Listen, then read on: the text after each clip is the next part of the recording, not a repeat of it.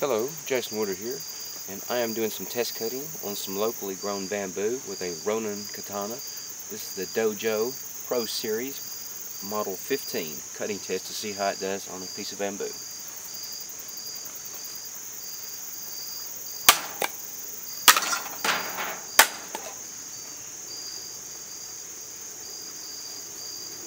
As you can see, it cuts very easily through the bamboo.